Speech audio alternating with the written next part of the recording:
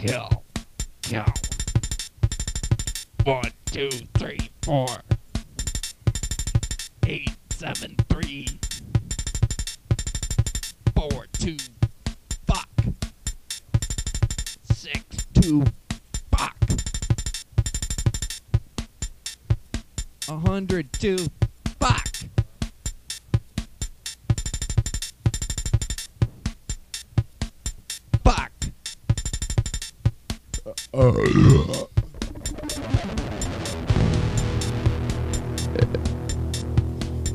What's What's eating Gilbert Grape can suck my dick?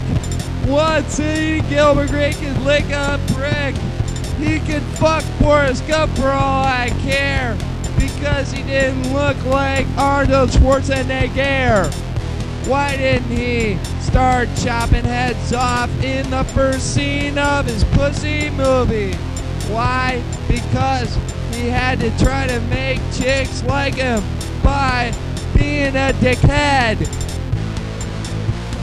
Johnny Depp goes around in his dickhead movie trying to be all sensitive like a postal service man and lick some pussies of fucking queers like Dana Carvey or members of PETA, which stands for Hello, I'm a dickhead and I care about animals and I don't care about being fucked and tough.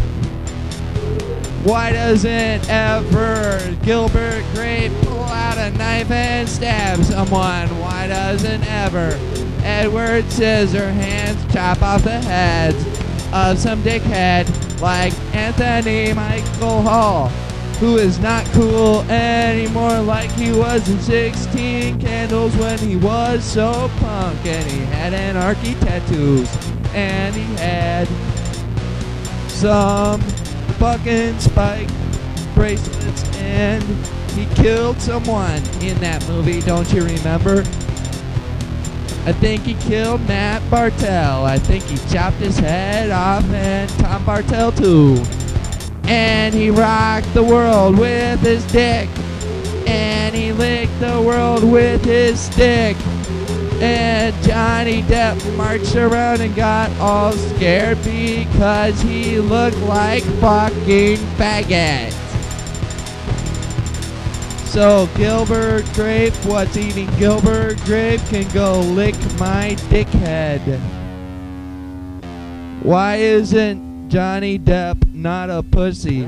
Why does he insist upon licking the cunt of the nationalist fascist front of America, of flag waving America, fascist cunt breathing America, flag wavers of America.